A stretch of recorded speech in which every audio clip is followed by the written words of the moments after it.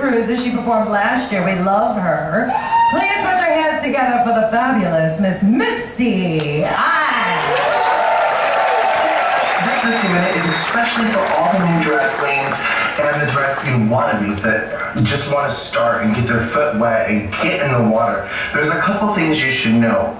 First of all, it costs more money to do drag than you make doing drag, especially in the beginning. For the first couple years, no one's going to want to pay you because they don't know you. You need to have a reputation. You need to have a following, so to speak. So you're going to do a lot of charity, you're going to do a lot of bookings for exposure before you start getting booked for real.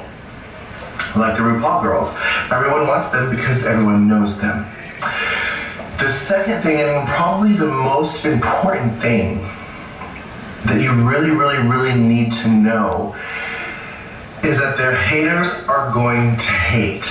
You're going to get so much hatred from everywhere. The gays don't want femmes, they don't want to date a drag queen. Drag queens don't want you to succeed, they don't want you to do better, they don't want to help you. But realistically, you're especially going to have to learn to not listen to anyone. People are going to start just throwing shade at you. You're too fat, you're too tall, you're not pretty enough. You have horrible eyelashes, you have horrible lipstick, you have horrible, um, your hair's too big, you're too tall, you're too fat. There's too many things that people are going to start saying to you. Maybe they're jealous, maybe they just hate drag queens, maybe they just hate you. But you can't listen to the haters. Haters are going to hate no matter what. You can't get rid of them, but you can't listen to them either. If you do, it'll make you crazy. Crazy. Crazy.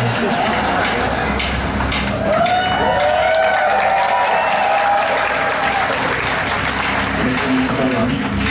It'll help you to relax. Okay, close your eyes.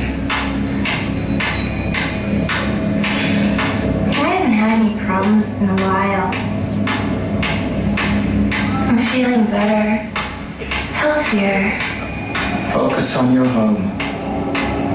Imagine it. Imagine your parents there waiting for you. I'm starting to get sleepy. Can you describe your home for me? What color is your house?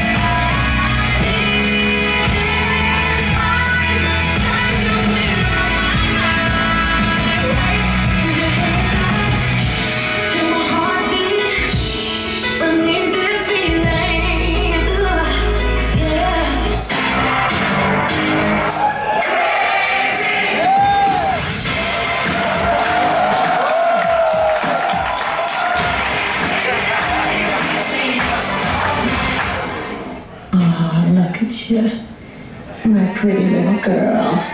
Sitting there with her face all painted up and her little halter. You're nothing but a little slut. I'm a Puerto Rican lady, senor. We all know you're a slut, Sybil Ann Dorsett. We know you're a little slut. No,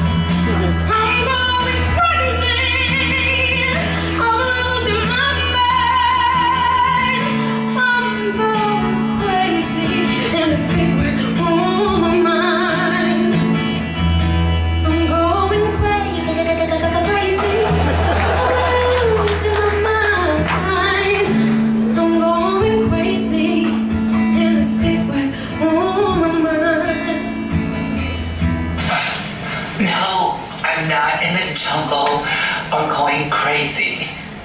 I am just so sick and tired of trying to straighten my freaking hair every day. I mean, I've spent so much money on products. That stupid flat iron that I spent like 200 bucks on, and it's not freaking working at all. I mean, I'm just thinking I'm just gonna start wearing my hair this way for the rest of my life because I'm just going crazy. I just can't take it anymore. I mean, last week I bought this really expensive product at a gas station. And I thought the lady was being honest. She's like, just put this in your hair and leave it there for an hour. I had freaking blisters on my scalp for a week. I mean, they were just busting all over the place, and my hair looks freaking thirstier than ever. I'm so over her. That's so shady and house down boots. I can't take this anymore. I mean, I'm spending more money on hair products like straighteners and shit. I'm broke and, and I'm hungry and just, well, I'm not hungry, but I am broke. I'm just desperate. To put in his mop to make it look like just gorgeous, straight, Crystal Gayle hair? Oh my